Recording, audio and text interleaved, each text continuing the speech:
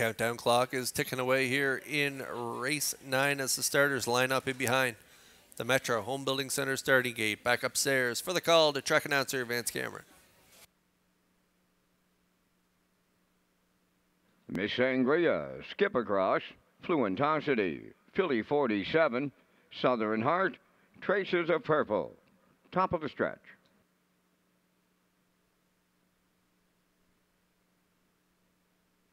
They're approaching a start.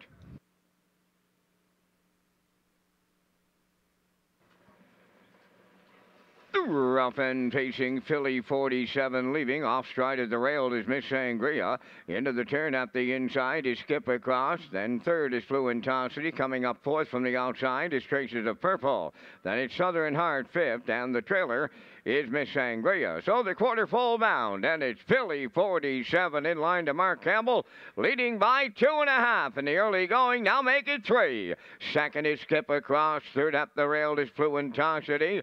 That's Traces of Purple now on the cones fourth. Racing from fifth Southern Heart. Trailing the field six, Miss Sangria 28 and one was the opening quarter. Freewheeling on the lead is Philly 47 and Campbell by four. Second is Skip Across, racing from third. That's Fluentosity. Fourth on the rail is Traces of Purple, racing from fifth.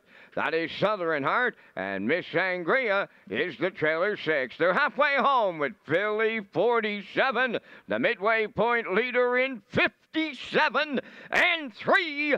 Onward they go to the 5 8 next. It's Philly 47, the lead down to 2.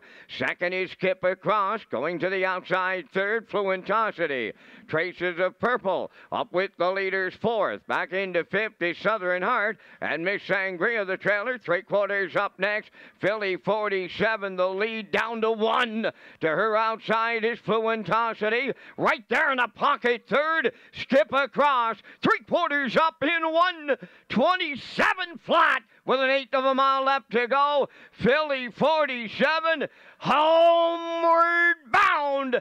Second Fluentosity, skip across, coming up the rail. Deep stretch now. Three of them across the track. Here's Fluentosity on the outside. Oh, she run late. It'll be Philly 47 on the line in 156. Flat.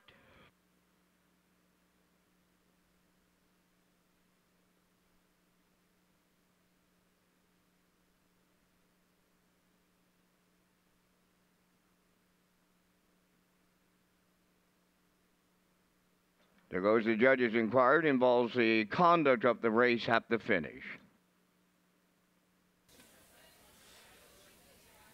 Well, no surprise here. We thought uh, the four Philly 47 and Campbell would be driven aggressively here, and she was right on the front end 28 and 1 down to the half, and 57 and 3, 127 and flat to the three quarters. I like these two mares on both sides of her here down the stretch. Uh, the two skip across down the inside for Hughes and Fluentosity on the outside here for Dowling. It looked like Fluentosity was going to get the edge on Philly 47 late in the stretch, but then made that unfortunate miscue right at the wire. So we'll see what happens here with the judges' inquiry, but hold on to all tickets here in race nine. Unofficially, the four Philly 47 gets the win, but uh, again, hold on to all tickets here in race number nine.